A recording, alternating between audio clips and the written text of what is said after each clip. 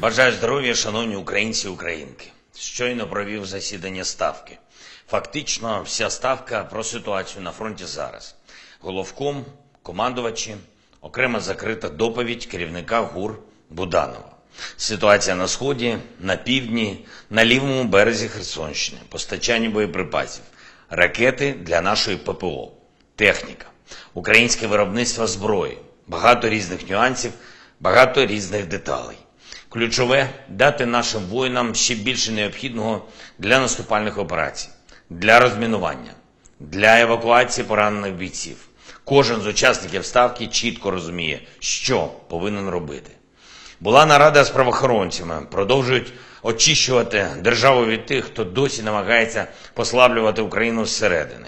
Осінь має бути плідною в цьому питанні саме для України.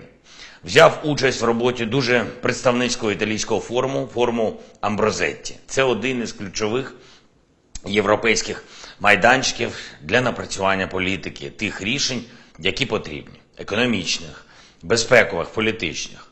Подякував Італії за всю надану підтримку та закликав ніколи не відмовлятись від нашої природної сили, сили усього вільного світу, сили діяти разом наповну заради наших спільних інтересів, так само як ми діємо вже 555 днів повномасштабної війни. І найголовніше за сьогодні, найбільш емоційне, впевнений не лише для мене. Більш ніж 3 мільйони 700 тисяч українських дітей сьогодні розпочали новий навчальний рік. Більшість в Україні, більшість в офлайн або змішаному форматі, коли все ж таки зберігається соціальна взаємодія між дітьми.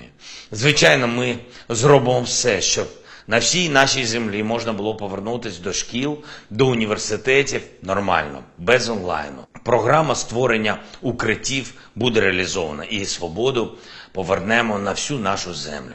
Посмішка кожної дитини сьогодні, кожна квітка, яку діти принесли до школи, кожен урок, який сьогодні провели українські вчителі, і кожна мрія, яка виникла сьогодні в українських дітей, все це докази того, що Україна точно витримає. Життя триває, життя міцніше.